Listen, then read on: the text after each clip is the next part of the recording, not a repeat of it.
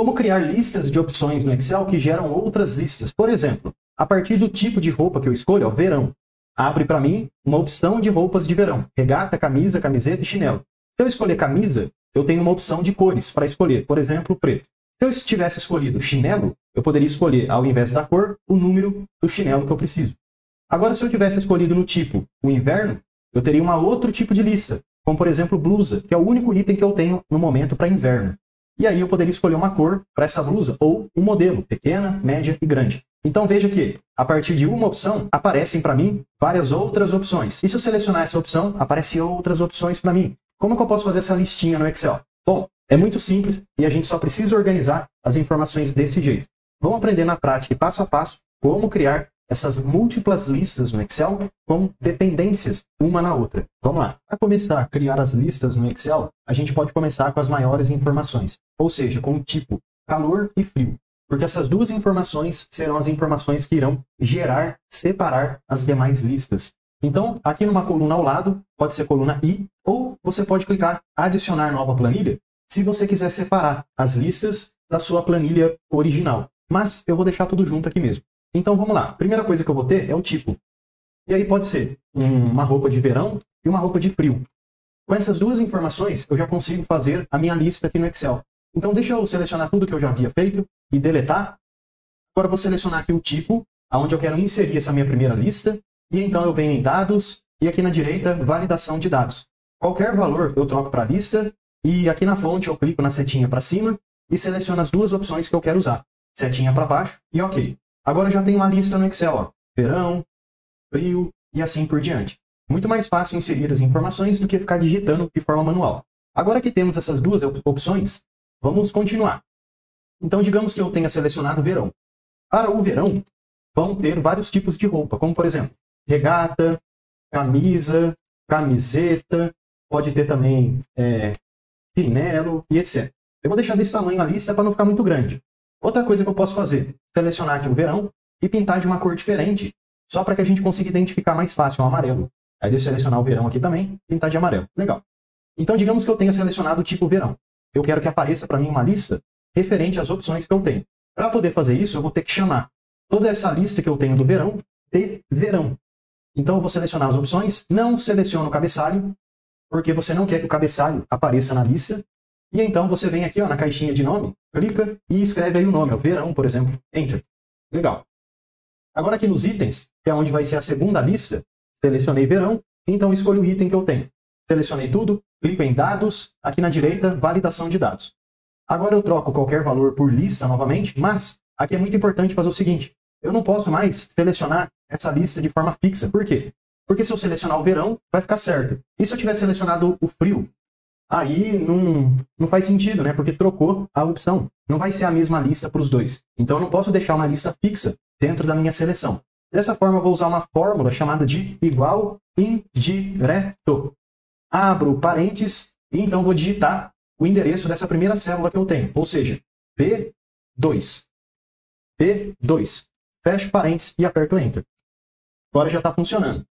Onde eu escolhi verão, aqui no item, se eu clicar, eu consigo ver todas as opções referentes ao verão. Se eu tiver aqui no inverno, e no frio, né, na verdade, clicar, olha só, nada acontece para mim. Eu não consigo selecionar a opção, porque ainda não existe o tipo de roupa de frio, né, só do verão. Eu vou até mudar aqui, na verdade, ao invés de usar frio, eu vou usar inverno. E deixa eu atualizar aqui também. Ó. Frio, troco para inverno e aqui também. Legal. Então já está funcionando onde é verão. Agora vamos colocar mais algumas opções e continuar o verão. Digamos que no verão, então, tem escolhido a camiseta. A camiseta tem vários tipos de cores. E é isso que eu quero colocar agora. Então eu vou ter uma opção de regata, uma opção de camisa, uma opção de camiseta e uma opção de chinelo. A regata vai ter as cores azul, verde, cinza. A camisa vai ter as opções, por exemplo, azul também, amarelo, verde, preto, branco e rosa. A camiseta vai ter cinza, apenas cinza. E o chinelo eu vou colocar, ao invés de cores, os tamanhos. Então, por exemplo, começando no 34, vou puxar esse número para baixo, só para gerar uma lista. Ó. Clico nesse quadradinho, preencher sequência. Aí, ó, que legal. Agora tem uma lista com vários números de chinelo.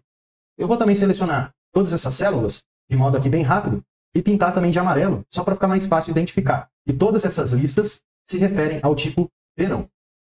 Agora vamos lá.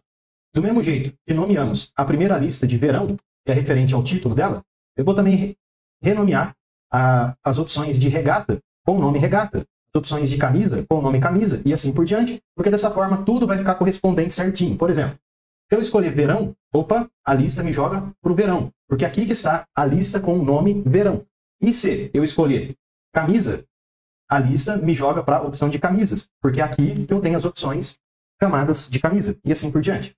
Então, vamos lá. Selecionei regata, aqui na caixa de nomes, regata. Selecionei camisa, coloco aqui camisa. Selecionei camiseta, escrevo camiseta. E, por fim, chinelo. Eu venho aqui e coloco chinelo. Enter. Aí, mesmo esquema. Aqui nas cores, seleciono tudo. E então, dados, validação de dados. E do mesmo jeito, vamos usar lista igual indireto. Abre parênteses. E agora eu vou usar a célula anterior. No caso é o C2. C2. Fecho parênteses e aperto Enter. E aí já está funcionando também. Se eu selecionei camisa, eu vou ter as opções referentes à camisa. Cinza, só uma opção. Ó. Será que está certo? É isso aí. Ó. Camiseta, né? No caso, falei errado. Camiseta. Se eu selecionar, por exemplo, chinelo, aí eu não vou ter cor, e sim o tamanho dos modelos, né? 43, 42, 45, etc. Se eu tivesse selecionado aqui regata, eu teria as cores relacionadas à regata. Então já está tudo funcionando. Só para fechar com chave de ouro, vamos fazer aqui o inverno. Vou pintar de uma corzinha diferente. Você pode escolher a cor que você quiser, não tem problema. E vamos numa coluna separada, vou colocar assim, ó. Inverno. E vou ter apenas uma opção, só para ficar mais rápido. Blusa. E a blusa, ela vai poder ter, é, digamos, pequena, média e grande. Eu sei que isso não são cores, porém é uma configuração que eu estou colocando, né? Dá para entender. Aqui no inverno, eu venho na lista, no nome, escrevo inverno. E aonde tenho a blusa, eu seleciono as opções escrevo blusa. Enter. Já acabou. É assim que a gente faz a lista, ó. quer ver? Onde está inverno, agora eu posso selecionar a opção que eu tenho, blusa, e também aí as cores, pequena, média e grande. Então, é assim que a gente cria uma lista no Excel, que tem dependências em outras listas, múltiplas listas no Excel. Se você tiver alguma dúvida ou sugestão de próximos vídeos, deixe aí nos comentários e eu espero que esse vídeo aqui possa te ajudar bastante. Valeu, pessoal. Até amanhã.